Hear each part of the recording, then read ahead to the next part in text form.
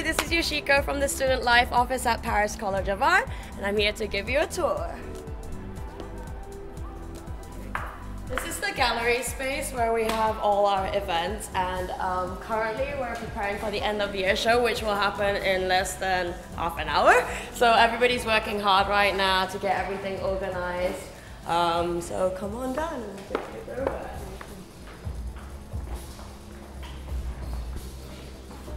in here is where we have the machine knitting and knitting classes. Um, usually we have all the machines out there, but since it's the end of the year, it's been used as backstage for the fashion show.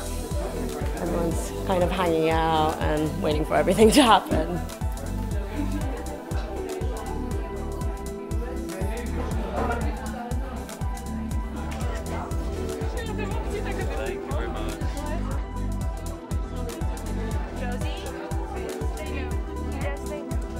Welcome, I'm Donald Potard. I'm uh, the chair of fashion department and uh, we're very exciting here because we're going to have a fashion show, best fashion show in Paris, of course, with all of our best students.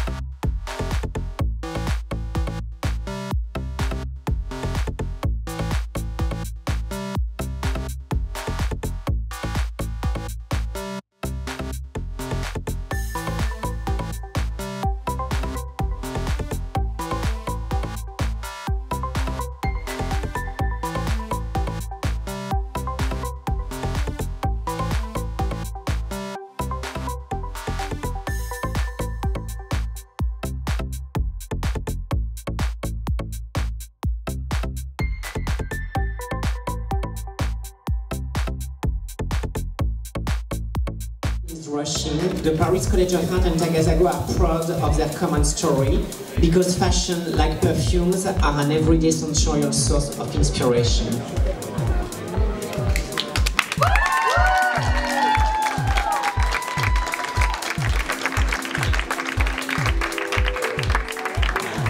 And now we will ask the jury president to announce who is this year's gold thimble award winner. I think we found talent in every one of you. We had to make a big decision. It was very difficult. But the winner is Jacquelyn Chow.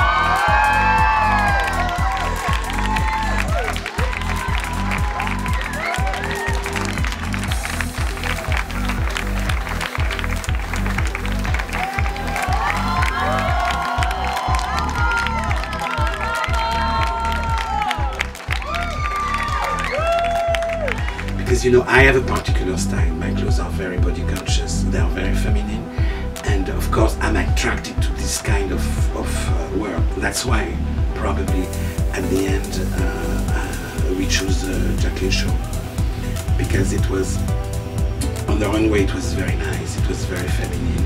The colors were fantastic. The draping were fantastic, and. Uh, uh, I, I think when I saw it, It was obvious for me that was my favorite. kind of put a toll on me because I felt like everyone was a little bit better than me. But I'm I'm very happy and very honored to have won the Golden Thimble and to be presented by